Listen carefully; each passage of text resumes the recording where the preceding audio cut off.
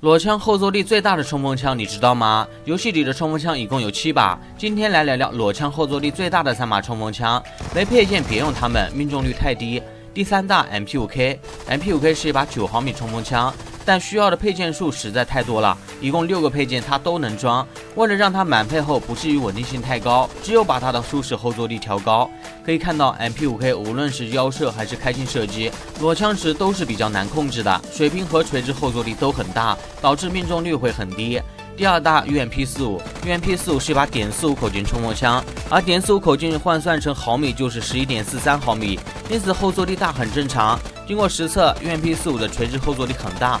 虽然弹容量是三十五发，但是比 MP5K 的四十发弹容量后坐力还大。不过开镜后的水平后坐力还比较低。